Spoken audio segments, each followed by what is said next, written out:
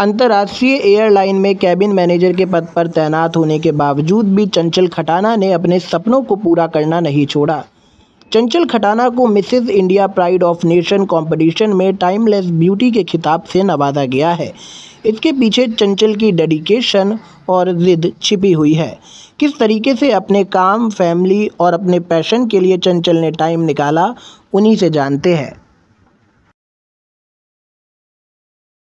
Journey was beautiful मैंने enroll किया। ऐसे ही फेसबुक पे पॉपअप हुआ, मैंने इनरोल किया फॉर्म भरा, वहाँ गई ऑलमोस्ट फॉर वन वीक हम लोग ताज आमेर में रुके जयपुर में।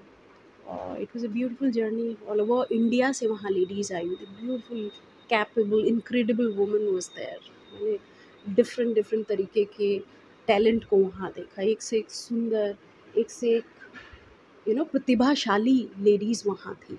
उनसे बहुत कुछ मुझे सीखने को भी मिला।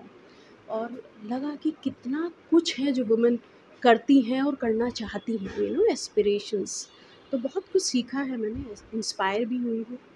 और as a as a team भी मैंने बहुत कुछ सीखा। वी वर स्टेइंग देयर साथ में।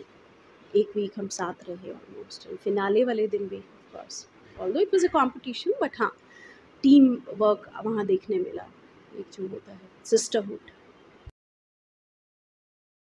उस वक्त condition family condition was not so great तो मुझे एक स्टेबल इनकम चाहिए थी, जो कि एयरलाइंस मुझे दे रही थी। They were paying a really handsome amount so I chose aviation over modelling but now when God is been so kind ईश्वर की कृपा है, सब कुछ अच्छा है तो इसीलिए मैंने अभी रिसेंटली जॉब छोड़ी, पंद्रह दिन पहले ही। तो अब मुझे लगता है कि अब मुझे अपने पैशन को वक्त देना चाहिए। इसीलिए मैंने एविएशन छोड़ा है। और अब मैं मॉडलिंग कंटिन्यू करूँ और still am exploring let's see where life will lead देखिए, मुश्किल तो है, लेकिन इम्पॉसिबल नहीं है। और मुझे लगता है maintaining a balance between your work life and personal life is very important वो बहुत ज़रूरी है एसेंशली आपका परिवार भी आपके लिए उतना ही इंपॉर्टेंट है, लेकिन सेम टाइम आपका पैशन आपका करियर भी इक्वली इंपॉर्टेंट है। और मैं अब कोशिश करती हूँ, हमेशा नहीं हो पाता but I try my level best और आप देख ही सकते हैं जो भी मैं कर पा रही हूँ। मैं एक्सप्लोर कर रही हूँ। जैसे कि मैंने आपको बताया, अभी थोड़े दिन पहले भी एक इंटरव्यू में मैंने ये बोला था।